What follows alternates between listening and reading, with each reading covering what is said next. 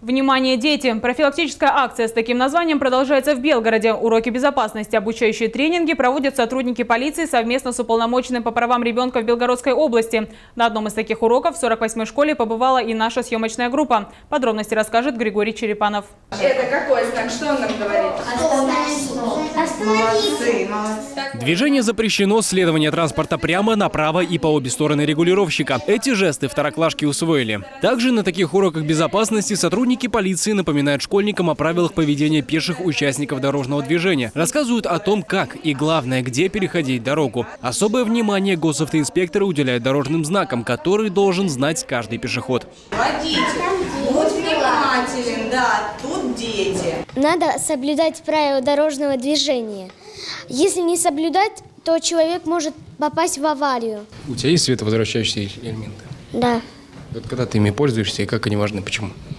Я ими пользуюсь э, зимой и когда темно. Теперь ты будешь после такого урока напоминать родителям о правилах безопасности в пеших зонах? Да. Такие уроки безопасности проводят сотрудники полиции во всех школах областного центра. На территории областного центра за 8 месяцев текущего года у нас зафиксировано 20 дорожно-транспортных происшествий с участием несовершеннолетних, в которых 20 детей получили ранения различной степени тяжести.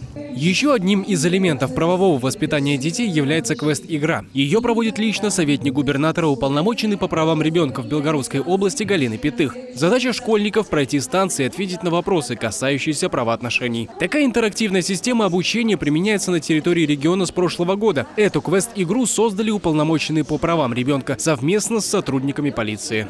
Такие квесты, они, во-первых, позволяют э, детям в игровой форме э, понять э, суть ситуации, не нарушать э, правила, ну, в данном случае дорожного движения, а в других квестах правила э, безопасности, э, правила закона, нормы закона и так далее. Вот. Ну и, естественно, получить определенные практические знания. Это очень важно для того, чтобы дети в жизни, естественно, были ориентированы более правильно и четко четко. Хотелось бы особое внимание обратить на роль родителей в воспитании э, законопослушных участников дорожного движения.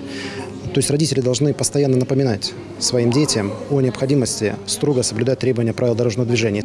Отметим, что профилактическая операция «Внимание! Дети» проходит на территории Белгорода с 22 августа и продлится до 15 сентября. Ее главная цель – напомнить школьникам о правилах дорожного движения. Григорий Черепанов, Дмитрий Ерема к этому часу. Белгород.